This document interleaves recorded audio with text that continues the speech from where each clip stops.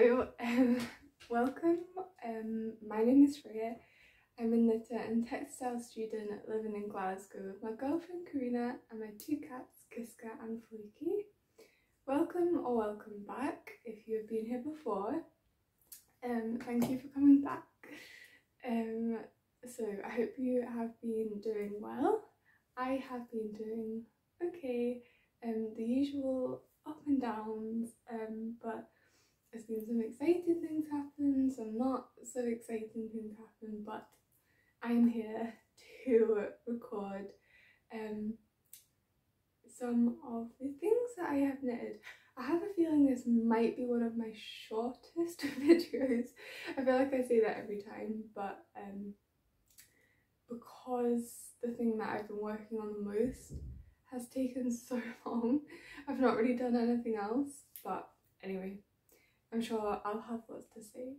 So I guess we'll just jump in to my main and biggest finished object, which is what I am wearing.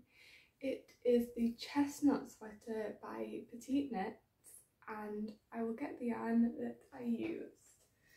Um, I showed this in the last one as a WIP and I'm sure I only got to here um, and I'd only just joined in the round so the yarn that I used was Drops Flora, which is a four ply or fingering weight yarn, and it is 65% wool, 35% alpaca. It, that is the white fog colourway. And then I held it together with a Drops Kid Silk in chalk. um, so I knit the size small, which was the second size, um, and I I got so close to getting gauge, but I didn't. I had to go up half a needle size. Um, so the pattern suggests a four millimeter. I used a four point five, and I'm sure I was like half a stitch too many in four inches. I still stuck with the second size because it only made a tiny bit of difference but my row gauge was quite significantly different. I think it was two stitches more. So when I knit down, let me show you what it looks like. it's probably a good idea. Um, I don't know if you can see that the chair might be in the way. It is like a really long um, turtleneck, crazy, so warm jumper. Um, so yeah, when I was knitting down the armhole, um, I had to knit so many more rows to get to the um, suggested length, like depth, which meant when I picked up the stitches, instead of picking up, I can't remember, uh, instead of picking up like three stitches for every four rows, I picked up like two stitches for every three rows, I think, which meant that, yeah.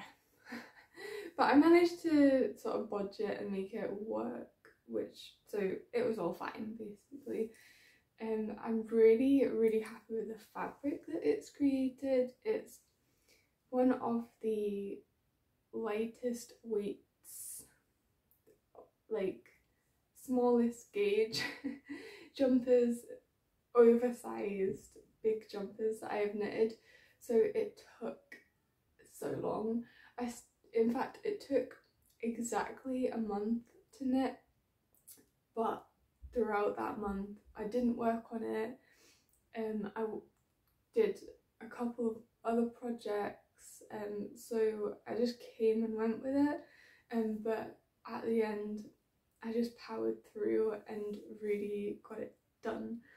Um, so I had spoken before about some petite knit patterns that I've tried to knit and I said how her gauge is wildly different to mine. Um, I don't know if that was just like like something weird, but for this, to what like by the end of knitting it, I was complete. I trusted the pattern completely. It was really well written, um, and I think my like finished object came out pretty much spot on to what she written had written. So even so if I was to knit a jumper I would always change like the sleeve length or how long the ribbing is and the body length and how long that ribbing is. For this I didn't change anything. I followed the pattern which is really strange. Like I've never done that before. so, you know, I really trusted the pattern. Um, however, when I had knitted um, down the jumper um, and I'd finished the first, because it's a split hem, again, I don't actually know how much you can see it, but it's a split hem, um, and I'd knit the first, like the front hem ribbing and I tried it on and I was like this is way too long and like it's not flattering or so I was thinking that I was going to I wasn't going to rip back the ribbing um, because it had taken so long. Um, but I thought I'll knit the back ribbing and then I'm probably going to have to do some surgery and take out like um, a big like section to make it shorter like the same that I did on my Badger and Bloom sweater um, on the arm. But I tried it on when I'd finished everything and I was like okay I get it. I get why it's meant to be this length and actually I really like it. So thank god um, I'm not gonna have to do that surgery because um, because it's really nerve-wracking and um, quite easily quite easy to mess up. so um, yeah, really happy with the length. I will say that I have not wet blocked this yet, um, so it might end up growing a little bit more, which I don't actually want. So I have only steam blocked this, and I actually think it's okay. Like, um, I'm not, I'm not gonna wet block it. Um, I'm gonna wear it until it gets dirty, until it needs its first wash, and then I'll wash and wet block it.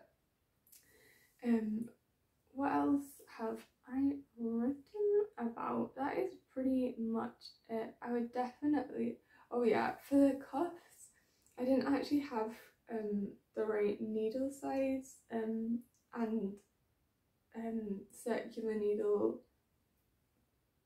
diameter, circumference. Um, so I ended up, mm, this pattern suggests, or the, yeah, the needle that I should have used was a 4 millimeter and I ended up having to use a 3.5 and I think it draws in the, I kind of have blocked out um, as much as I can with steam blocking.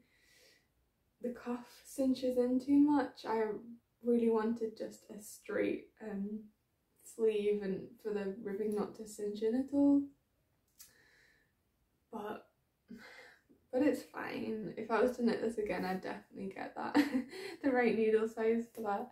Um, and I would definitely recommend this pattern. I really want to knit it again, but I'm not going to for a while anyway. Uh, but yeah, really enjoyed this, and I have been looking at all of her other patterns to see to see what which one I will knit next because I'm definitely gonna knit quite a few more from her. So yeah, that's exciting. So we will move on to my next finished object. this was again a WIP in my last one and it is my hand spun socks. I will get them. So these are my hands socks. Both. Both of them. I don't know how much you can see, but um, yes. So this is handspun by me. it is John Arbon Exmoor sock um, that you call it before you, you spin it? Um, yeah, I spun it hoping to get a DK weight and I ended up getting um 250 meters per 100 grams. On the top of my head, I can't remember what yarn weight that is, but I knew it was heavier than what I wanted.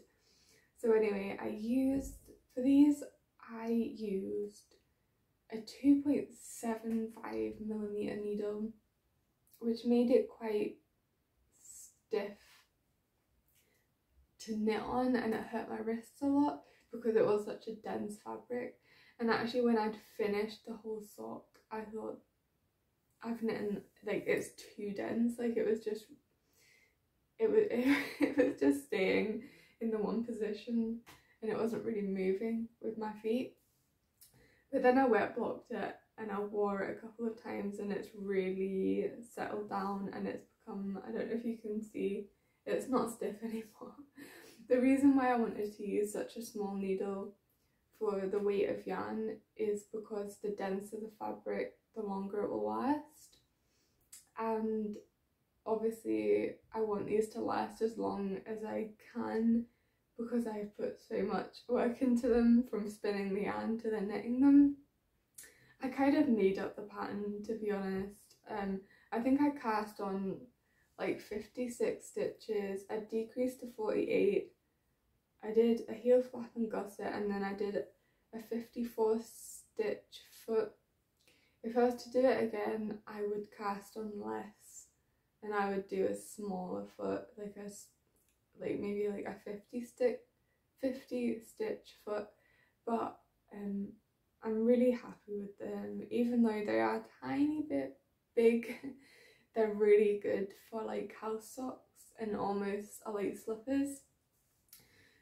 So it's really really made me want to knit to spin up um more more fibre and knit more socks and I have actually bought more fibre mm, I don't think I showed it in the last one I don't think it had, it had arrived yet so I will show that in the end if you're interested so yeah that's um nothing really more to say about that I can't see anymore. No. so yeah, really fun. Um, yeah. I will move on to my next finished object, which is over there, and I did not bring it here, so I'll have to reach over and get them. So these are hair bow ties. I showed these, well, I think I finished one in my last um, podcast and I showed it. Um, and since then I have made a matching one, well matching-ish, I use the same yarn. um, I don't know how much you can see. And then I also made, and that one is in drops. I can't remember the, the name, it's the drops sock yarn I can't remember what it's called. I'll link everything down below. And then I knit these, which is the brushed alpaca silk by Drops. And so it's really, really soft and fluffy.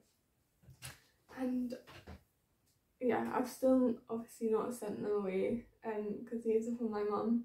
So I really need to get to that in the my, in my last one, in fact, if you've not seen my last one, I'm gonna maybe I'll try and show it on here this time.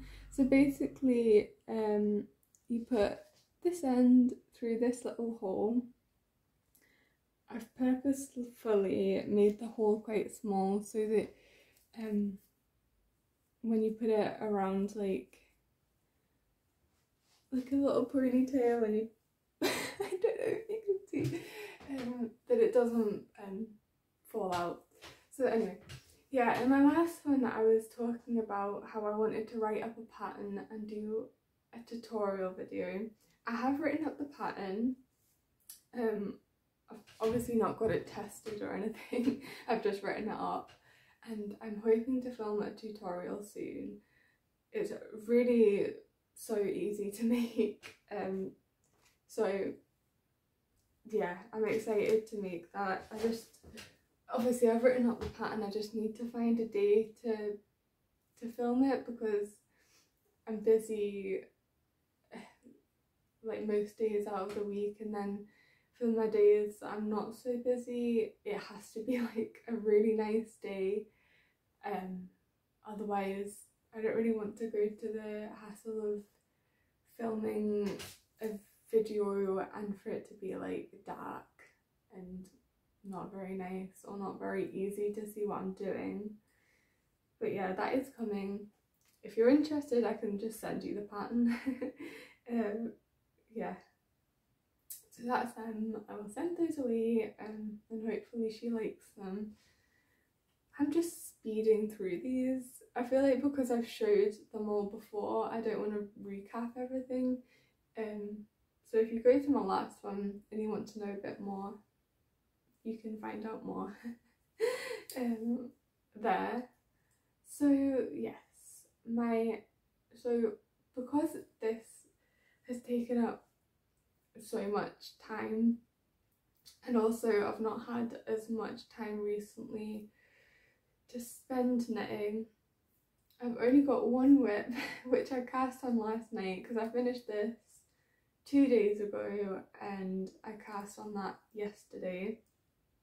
It is the Birds of a Feather by Andrea Mowry. I have knitted this once before it was like a purple gradient yarn with a purple mohair. So this is as far as I've gotten. It's not much to show at all. yeah, that's literally it. Um, I mean, I've started it, so yeah, it's it's in its ugly. You can't really tell what's going on stage, but I am using, I've not got the ball bands, but I am using a mohair. This is a mohair by Qing Fibre, which I got for Christmas. It is in the colour Matrix, and it's just a kid silk base. And the other yarn, which took me a while to find an affordable good quality yarn to pair with that. I didn't want to get one that was like not good quality because I know because that mohair is so special.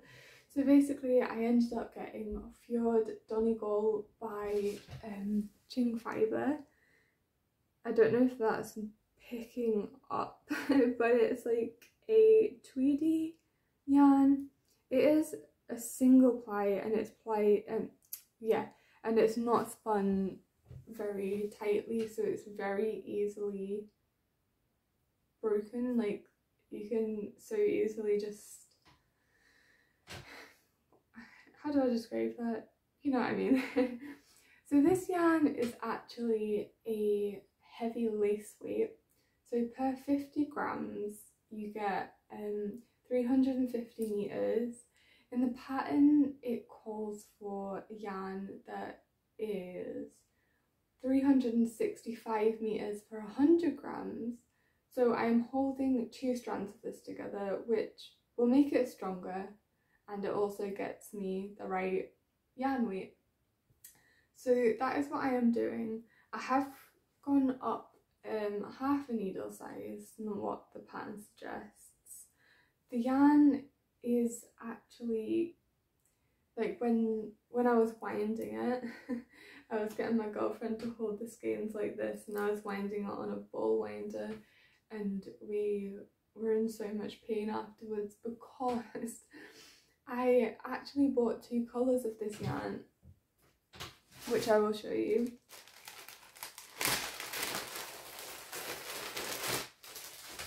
Actually bought this yarn, this colour um, of the Fjord Donegal, um, which is Crocodile, and this one is Soot. And I really did not know which one to hold it with. Like, so my first, um, what's the word? Like, I first decided on the green. so I had what we well we because she was holding it and I was winding it. We'd wound up two of the green balls already and then I started knitting like uh, just like two rows of it and I was like no no that's not the colour that I want to use. So then we had to wind up the black. I've still actually got one more skein to wind up but I just could not stomach doing another one because I didn't wind it once. I then um, once I'd wound it from her holding it like this, I then rewound it again. So I caked it up, I caked all of the balls and the mohair ball, I caked them up twice. So that was like 10 cakes that I'd done at that point and I was done. uh, so anyway, I can I can wind that one later. I feel like that was a really long-winded explanation. but anyway, all to say that I went with the black and when we were, when I was winding it, I actually I could feel that it had quite a lot of lanolin in still um, and when I've knitted it up it is a tiny bit stiff at this gauge but my thinking is is that it will soften and bloom and become really drapey and nice when washed. So yeah, I'm already so excited to wash this yarn. Um, I'm a little bit nervous that the, the black will run.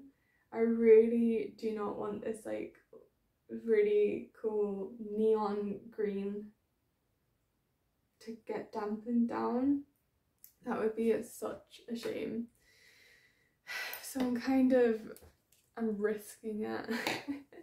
I really am playing with fire there. so yeah, um that is gonna be like my main um focus. Um and yeah, I'm I can't really think of I don't really want any more projects on the go. I just want to focus on one. It's been a while since I've done that, especially with like gift knitting at Christmas. I've always had like two or three or sometimes four projects on the go and sometimes that just does not it's not as like satisfying because it takes so long to finish um if you're like constantly jumping between all of them so yeah I will now oh no I forgot, I forgot, I forgot so I've not shown these on the podcast before. Um, this is a half finished object and it is a pair of socks. These are my travel socks. So I cast on a pair of socks um, just after summer, just before um, going back to college because last year in college we didn't actually go in. I think we went in like two days. so I cast on a sock hoping to just knit them on my train journeys. I didn't knit on them at all at home, it was just on the train journeys and it's taken me this long to finish one but for a couple of like weeks or days, like depending on how my mental health was and how anxious I was, I wouldn't knit on them. But recently I've just been powering through this. So this is my travel college sock. And this is Stylecraft. Um it's called Head Over Heels. You can um yeah. It's a really, really long colour change, which I quite like. I actually think um I might end up getting quite a matchy matchy sock, which I think is just a fluke. so anyway, um yeah, this for this sock, I am knitting it on a teeny tiny, teeny teeny tiny uh, nine inch nine inch circular needle, which is super super fun. It is only my second, I think, sock knitting on a 9 inch and it is so convenient for knitting in public because my sock needles of choice are DPNs which just they're too like obnoxious to knit with in public because you've got like four pointy needles um yeah.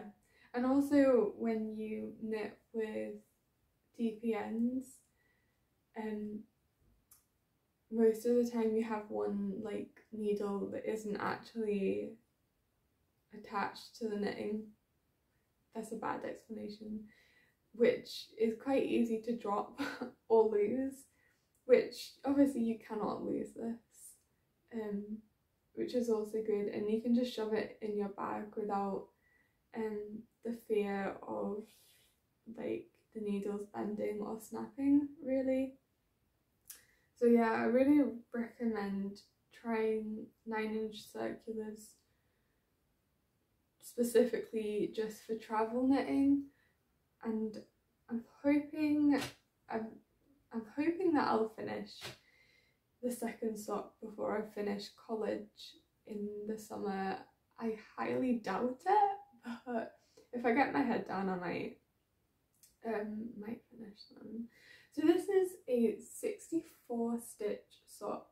This is like the most basic of sock recipes that I've used for this so that I am not thinking at all.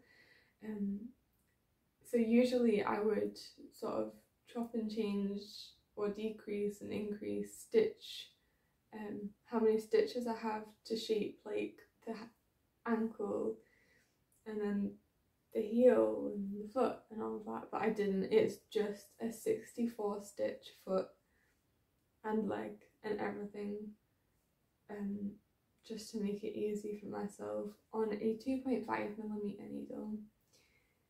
So yeah that is that. Nothing to say about that. Um but yeah really happy with that. So I'll move on to acquisitions now which is teeny tiny. Um I actually got these. I'm pretty sure I've not showed them on the podcast I'm pretty sure.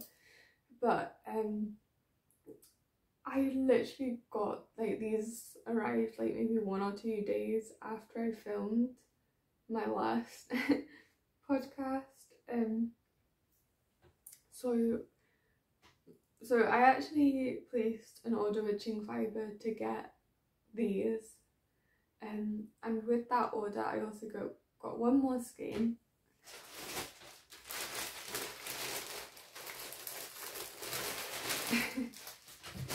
sorry for the rustling, but this is the Fjord, um, just Fjord, not Fjord Donegal. So this is a bit different. It's, oh, I forgot to say that this is an 80% lamb's wool and a 20% nylon.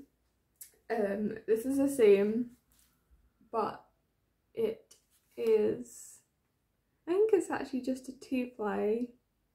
Yeah, it's just a two ply, but it is you get 100 grams in this and the yardage is 466 meters per 100 grams which is a light fingering. I got these because I just really wanted to try the base and it's actually quite affordable. It's £7.50 a ball or a skein, which means that I could actually feasibly buy a sweater's quantity of this and maybe hold it together with like a drops kid silk.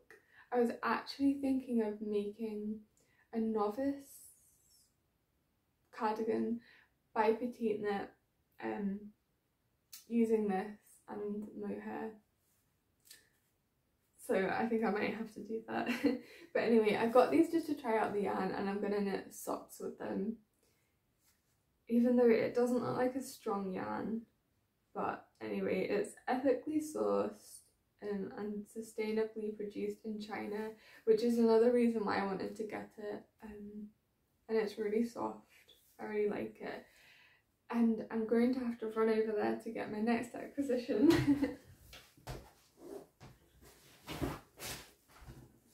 so, so all of this is fibre by John Arbon Textiles. My Exmoor sock is John Arbon. I also got two more ball um, tops from John Arbon for my Christmas. And then I just had to to get more. Basically, I know. So the first one that I got is this one. This is 200 grams of Azwabal and Exmoor Blueface mix. I'm pretty sure it's 50-50 Zwartbles and Exmoor Blueface. Um, it really, that took me back there. It really, really smells like, um, like it's a really strong smelling of sheep. I don't mind, I actually quite like that, but that was strong. so anyway, that's really, really soft. I actually got that to make more socks with. I actually got all of these thinking socks, like, I'm sure I won't use all of it for socks, but socks was just on my mind and it was just so satisfying spinning up a quantity that's just enough for socks. I feel like spinning a jumper quantity is a little bit out of my um, skills because you have to be so consistent with the weight that you spin, which I'm not really there at all. so I feel like I'd waste a lot of fibre if I just jumped in. Oh my god, I keep wanting to yawn.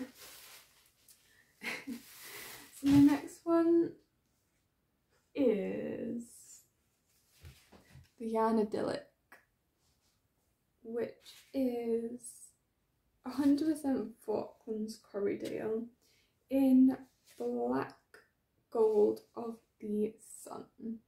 When I saw it was so hard to choose all the colours, of course. but when I saw this one, I was just too intrigued um, um, to see like what the finished yarn would look like.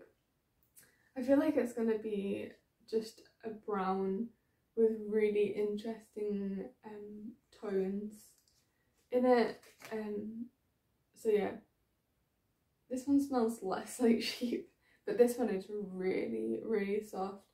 I'm not sure what, how spinning changes the softness of fibre um, if when I spin it fibres will sort of pop out and it might be a bit itchy. But but when it's like this it's so soft. So the last one that I got is this one.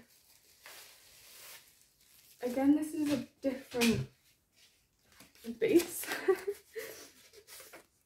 It's the Devonia Devonia, which is 50% Exmoor Blueface, 30% Blueface Leicester, and 20% Wen Wensleydale, and it's pollen gold. Oh god! I thought I was gonna go on the on the floor. Calm. so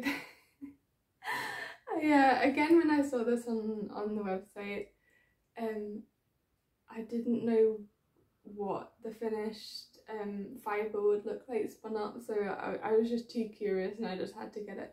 Also, I don't I don't have any yellow socks, and this has been like ongoing. I've always wanted yellow socks, but I've just not got any. So finally, I'm gonna have some yellow socks. I think this one is definitely gonna be socks. This one is also extremely soft. All of them are really soft. I really hope that doesn't get lost um, when I spin them up. I, again, I don't really know what the deal is there.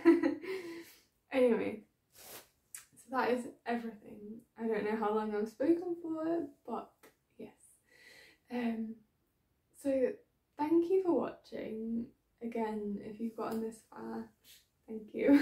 uh, and yeah, I will see you next time, hopefully with lots to show, maybe some spinning, and um, probably some more cast-ons because I just can't help myself. And hopefully that Birds of a Feather will be close to finished because I'm very committed to finishing that. I'm really excited to knit that. It is such a fun knit. So yeah, thank you again for watching. I hope you are doing well. I know if you're not, I hope things start looking up for you. And I'll see you next time. Bye.